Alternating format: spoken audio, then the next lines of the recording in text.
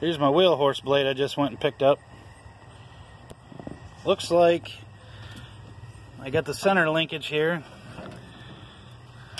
but I'm missing the handle's been cut off, and then this has been cut off, well broke, looks like.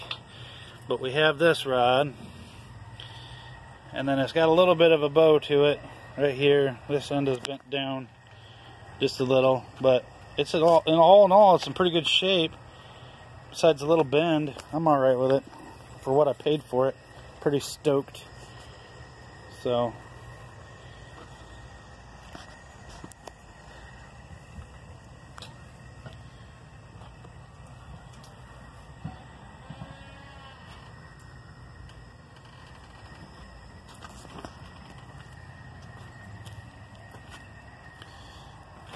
If anybody's got these, I'm going to need these. Or sizes or measurements. That'd be awesome. I'll have some made